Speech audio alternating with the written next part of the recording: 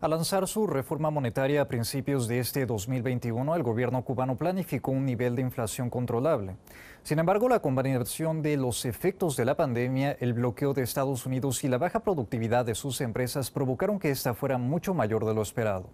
El valor del dólar estadounidense en los mercados informales triplica actualmente el de la tasa oficial, lo que supone una pérdida del valor real del peso cubano y un aumento de los precios. De acuerdo con el economista cubano Óscar Fernández, solo el incremento de la producción puede frenar este fenómeno. La inflación que enfrenta Cuba en estos momentos se debe a múltiples factores, asegura el doctor en ciencias económicas Óscar Fernández. Con la reforma monetaria comenzada el 1 de enero y el aumento de los salarios de los trabajadores, una gran masa de dinero ha entrado en circulación y no se ha visto acompañada por una mayor oferta de bienes y servicios, afectados por la pandemia y el bloqueo estadounidense. Los productos de la cesta básica en los mercados informales han multiplicado sus precios varias veces más de lo que aumentaron los salarios, provocando una gran inflación. Solucionar esta problemática constituye una prioridad para el gobierno. Esa devaluación se ha transmitido por incremento de precio inmediatamente sin que haya una capacidad doméstica de reaccionar con oferta que es lo que se supone que debe pasar para poder equilibrar eh, la macroeconomía. Y la razón de la inflación es básicamente que hay una inyección de dinero en circulación, hay una crisis de oferta de la cual no se sale, eh, claro que no hay turismo, no hay ingresos, el Estado tiene prácticamente, está atado de manos para poder incrementar la oferta en pesos cubanos y se produce una ruptura eh, en que incluso hace insostenible una tasa de cambio eh, legal, digamos, del dólar por el peso a la tasa devaluada, a la tasa de 1 por 24. Una de las medidas más necesarias para la captación de divisas por parte del gobierno, dado que el turismo internacional cayó más de un 85% y las remesas familiares desde Estados Unidos fueron prohibidas en 2020, fue la apertura de tiendas de moneda libremente convertible.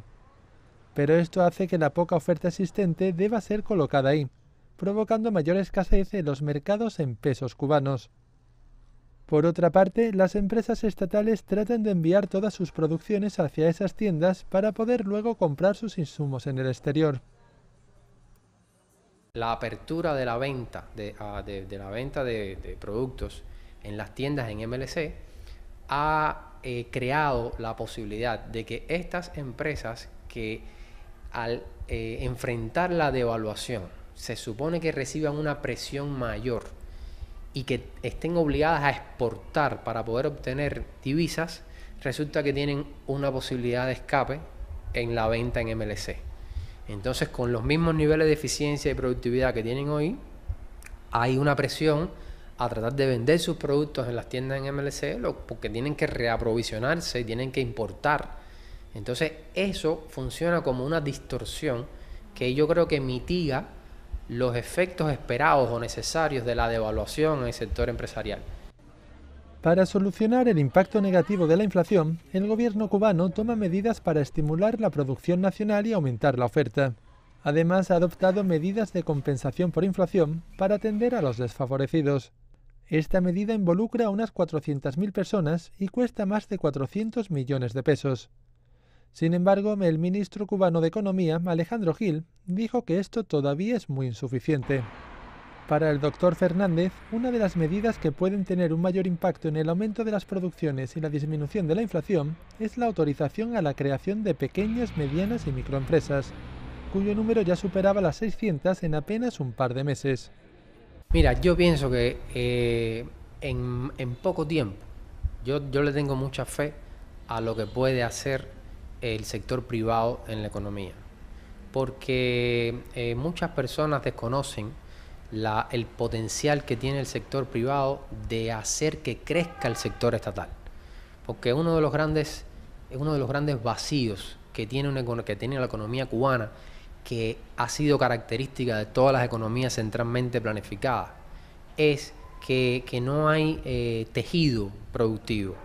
porque como las relaciones son verticales, no se construyen horizontalmente, hay muchos vacíos, muchas lagunas de producciones, de servicios, que nadie las ofrece.